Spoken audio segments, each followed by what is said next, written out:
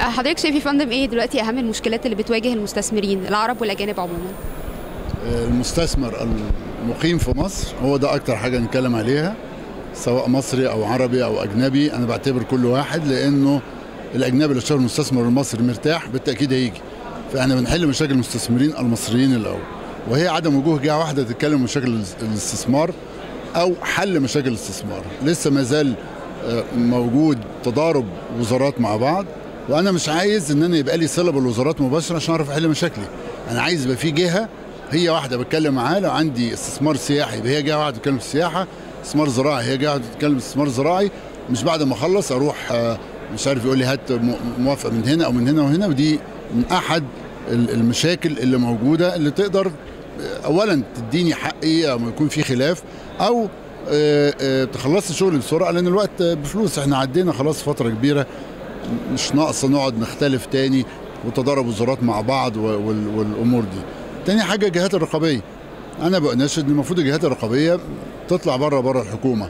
ما ينفعش إن الحكومة هي اللي بتعمل كل حاجة، أنا الحكم وأنا الجون وأنا صاحب الكورة يعني هي اللي بتعمل كل حاجة، طب مين اللي هيحاسبها؟ يعني نتكلم مجلس الشعب، مجلس الشعب يحاسب إيه ولا إيه؟ لا أنا عايز يبقى في جهات محايدة هي اللي بتطلع لي عمليات التقارير هي اللي بتطلع لي عمليات المراقبة هي اللي بتقول لي أنا فعلا مطابق ولا غير مطابق. كل الأمور دي المطلوب إنها تبقى جهات محايدة. إنما لما تبقى جهة والحكومة تحط المعايير وجهات محايدة معتمدة دوليا فنفعل فعلا الدور الرقابي السليم اللي يقدر ينفذ لنا بيها المشاكل. مشكلة التشريعات ومشكلة التحكيم الدولي اللي بيلجأوا ليهم المستثمرين العرب الأجانب سوري دي كارثة. لا دي كارثة طبعا. ما تم ما تم في الفترة اللي فاتت إنه إرضاء قطاع على حساب الدولة ده مرفوض.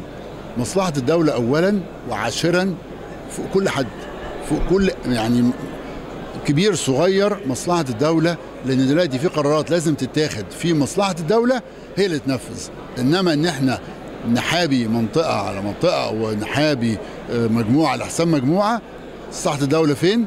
تتحط كأساس كله يتحمل. تقولي لي بقى مستثمر كبير مواطن كله لازم يتحمل لحد ما نعدي بيها المشكلة. إنما كنا نرفع قضية وواحد عايز يشتهر والتاني نوصل لإيه؟ مش عايزين نتكلم في تفاصيلها لكن في الآخر هم للأسف معرضينا إلى يعني مليارات دولارات خسارة وربنا يستر. الحكومة شغاله على الحل بتاعها. الحكومة شغاله على الحل بتاعها. نتمنى إنها تنجح إن شاء الله عشان نقلل بس الفاقد بتاعها حضرتك في المؤتمر وتوقيته؟ توقيته مهم جدا لأنه جه بعد ما الدولة فرضت هيبتها في الشارع المصري. مبروك علينا وسط البلد. مش كده برضو؟ يا فندم بعد عدة لقاءات مع الرئيس السيسي حضرتك شايف إيه هي طموحات الدولة أو توجهات الدولة نحو الاقتصاد؟ يعني بمعنى آخر الدولة عايزة إيه من المستثمرين؟ الدولة نحط الأول مصلحة الدولة فين؟ كلها. وبعدين نتكلم على هنا مفيش حاجة اسمها بقى مصلحة مستثمر مستثمر عايز إيه؟ خلينا نحط الأول هدف هي مصلحة الدولة إن الدولة تعدي بيها المرحلة دي. وبعدين كله بقى يظبط نفسه على الموضوع ده. من يعني الفرق بس في وجود الرئيس السيسي إنه فتح نفسنا. لما نشوف حاجة غلط بنتكلم فيها وبجرأة لأن عارفين إنها تتنفذ وبتتنفذ. يعني حضرتك شايف إنه إنه حاليا الثقة بين المواطن أو المستثمر والدولة رجعت نوعا ما؟ يعني بترجع. عايزة وقت. لأنه كسر الحاجة شيء واصلاحها شيء آخر. عايزة وقت بس بترجع بسرعة.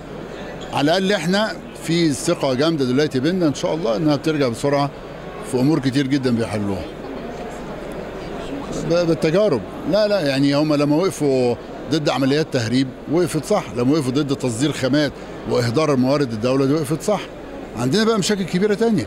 يعني تيجي تقولي لي أكبر مشكلة ترجع مصر لمكانتها هو المواطن المصري. اهتم بتعليم المواطن المصري وكيانه تبني عليه أي حاجة أنت عايزها. ده هياخد وقت. يعني ما يجيش حد بقى يقول لي أنا رحت المدرسة السنة الجاية ولقيت هنتوقع الكلام ده. فلو توقعت غير كده بالسرعة الخيالية يبقى بنضحك على بعض. في كل حاجة هتاخد وقت. في حاجات تعمل دلوقتي تعمل على مراحل وهكذا. أصعب حاجة فيهم إن يرجع المواطن المصري تاني زي ما كان وهيرجع إن شاء الله.